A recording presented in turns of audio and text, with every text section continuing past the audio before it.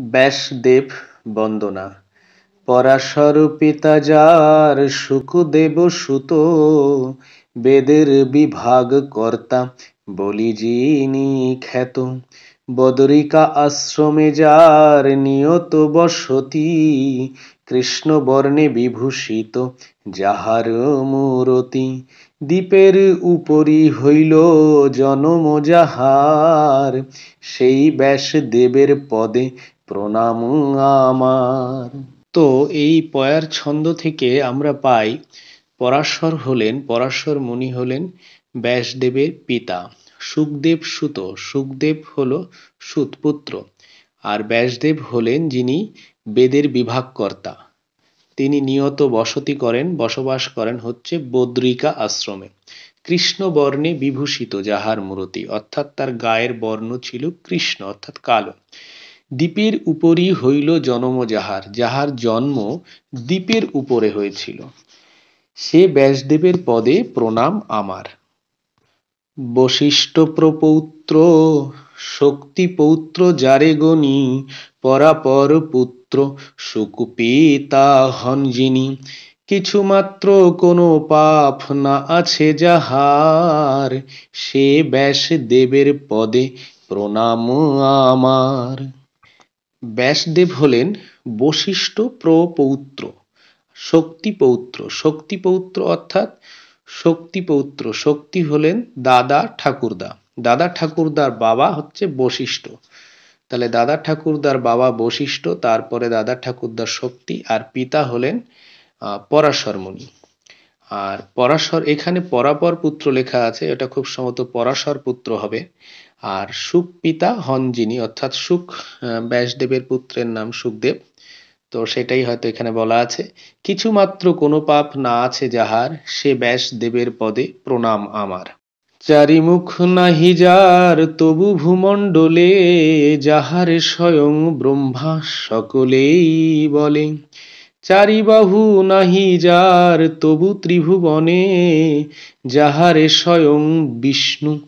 বলি সবে গণে, যার ভালে চন্দ্র নাই তবু এই ভবে, যারে মহেশ্বর বলি সকলেই ভাবে।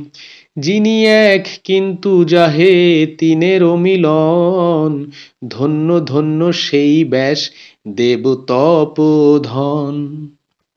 এখানে ব্যাসদেবকে বলা হয়েছে, তার ব্রহ্মার মতো চার মুখ না থাকলেও তিনি স্বয়ং ব্রহ্মা হিসাবেই পূজিত হন। সকলেই বলে, অর্থাৎ যাহারে স্বয়ং ব্রহ্মা সকলেই বলে, চারি বাহু নাই যার, তবু ত্রিভুবনে, তার চার বাহু চার হাত নেই, তথাপি সবাই তাকে স্বয়ং বিষ্ণু বলে সবে গণে, সবে মনে করে, সবাই মনে করে।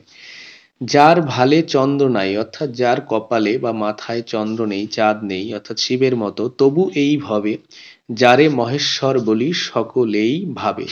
অর্থাৎ তাকে সবাই শিব মনে করে।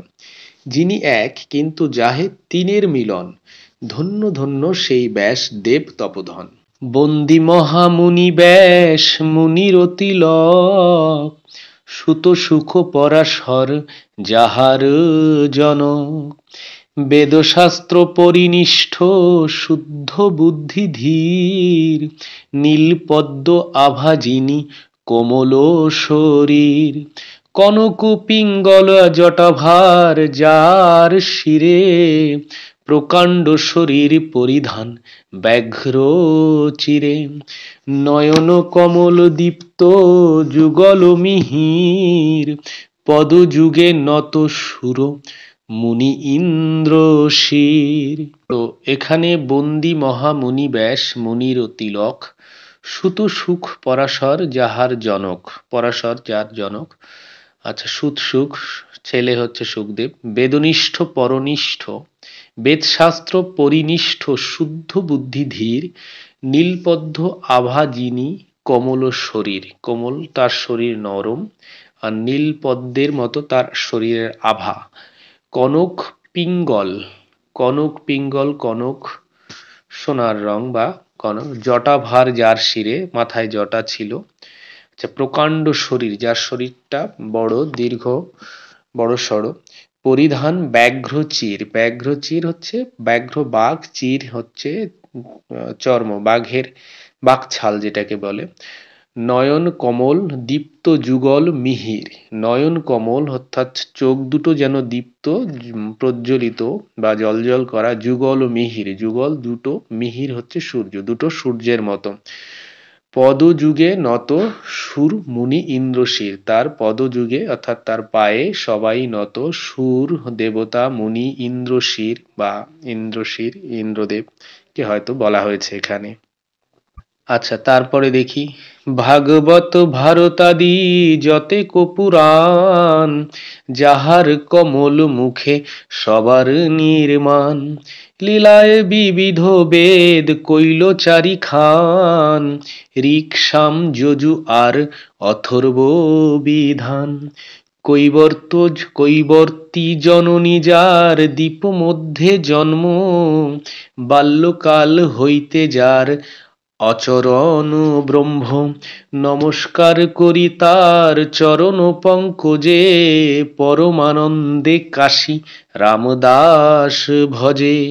দেখি ভাগবত ভারতাদি যতেক পুরাণ, যাহার কমল মুখে সবার নির্মাণ, কমল মুখ পদ্মমুখে সব নির্মাণ হয়েছে। লীলায় বিবিধ বেদ, কৈল চারি খান অর্থাৎ তিনি চার বেদ, বেদকে চার ভাগে ভাগ করেন ঋক সাম যজুর আর অথর্ব বেদ হিসাবে। কৈবর্তী জননী, অর্থাৎ কৈবর্তী তার মা, অর্থাৎ মৎস্যগন্ধা, কৈবর্ত কুলে লালিত পালিত হওয়ার জন্য তাকে কৈবর্তী বলা হয়। অর্থাৎ কৈবর্তী জননী যার দ্বীপ মধ্যে জন্ম আর তার দ্বীপে জন্ম হয়েছিল, আমরা আগেই জেনেছি। বাল্যকাল হইতে যার অচরণ ব্রহ্ম, অর্থাৎ তিনি সর্বদাই ব্রহ্ম স্থিতি থাকেন, ব্রহ্মচারী হিসেবে। নমস্কার করি তার চরণ পঙ্কজে। পরমানন্দে কাশিরাম দাস ভজে। আজকে এই পর্যন্ত আমার ভুল ত্রুটি মার্জনা করবেন। আমি পাঠ করার চেষ্টা করছি মাত্র। আমি কোনো পেশাদার পাঠক নই। আমি আপনাদের সঙ্গে জাস্ট শিখবার চেষ্টা করছি যে এটা কীভাবে পাঠ করা যায় এবং সম্পূর্ণ মহাভারতটা কীভাবে অধ্যয়ন করা যায় বা অনুধাবন করা যায়। সঙ্গে থাকুন, ভালো লাগবে। সবাই ভালো থাকবেন।